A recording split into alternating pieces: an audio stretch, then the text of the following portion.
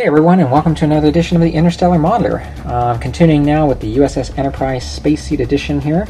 I'm going to um, go over a few things that I've done here. As you can see, I've uh, made a bit of progress since the last video. So let me just show you a few things here.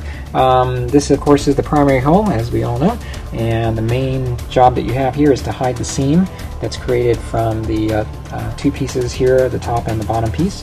And uh, again, I'm using the um, Mr. Hobby Dissolve Putty here for the job and it does a pretty good job. As I've indicated before, uh, you have good control with this product because you can brush it on over the seam.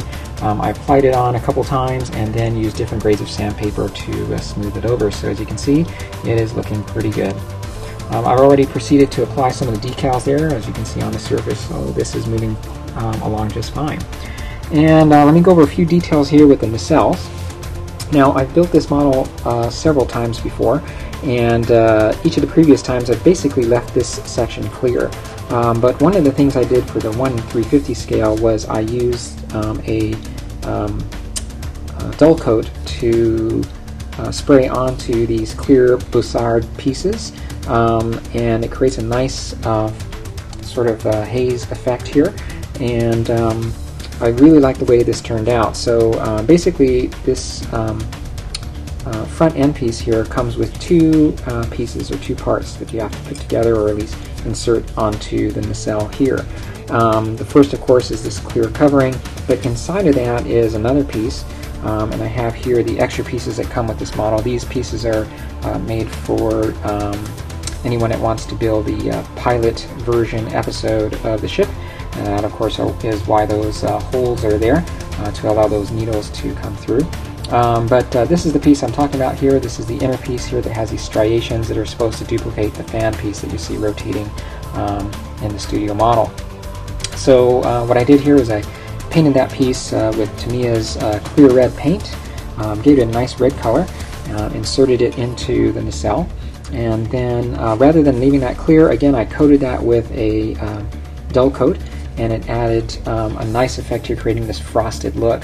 So it gives it that kind of this layered sort of effect, I guess you might want to call it. Uh, but I really, really like the way it turned out.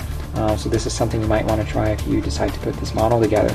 Uh, again, the whole piece is clear, so you have to mask that off, and of course paint uh, these end pieces here um, the same color as you're painting the rest of the hull. Okay, and then this of course is the secondary hull. Um, in the uh, previous video I talked about using that uh, dissolve putty on the seam here, and as you can see it did a pretty nice job. It's nice and smooth, so it hides it pretty well. And then there is the, uh, here's of course the bottom of the ship here, and the, the seam isn't too prominent, but it uh, again did a very good job at hiding it as well. Okay, and again as you can see I'm applying the decals already here. Um, by the way, the color that I'm using for this model is Testors Light Gray. Um, that is the same color I painted my 1 350 scale model with, and uh, I think it really does a nice job to duplicate a the uh, grayish tone that you tend to see on screen. It of course deviates from the blue color from the uh, uh at least that the original miniature uh, was painted in. Um, so I think this does a pretty nice job to duplicate what you see on screen. Uh, what you see here, of course, is where the sensor dish uh, goes into and I painted this uh, copper. So that's basically just Testors copper paint there.